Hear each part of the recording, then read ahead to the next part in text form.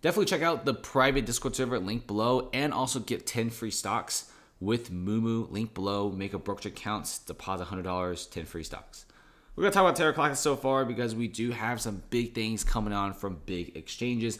I know you guys love exchange news, so let me feed some to you guys. If you check out this, it's a big event by MEXC Global. This is one of the biggest exchanges in the world, and you could clearly see by the number of Twitter followers. And fun fact, this is the biggest Mexican exchange as well, so that's a big deal. MEXC Global has recently burned 71 million Terra Classic tokens, and this is on day four, okay?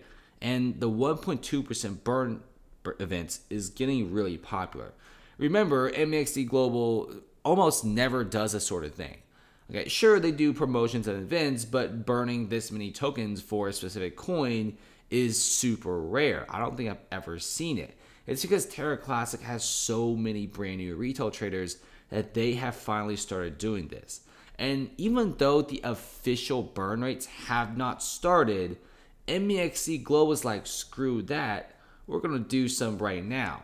And you do see some of the biggest burn rates, like 71 million tokens being burned right there. And you also see some really big burns, like 150,000. And we sometimes see several million here and there. But you do see a lot of these burns are becoming more and more frequent, and a lot of these burns becoming bigger than ever before. So just to let you guys know that a lot of these burns have not even been official yet. They're just simply doing it as like a promotional event.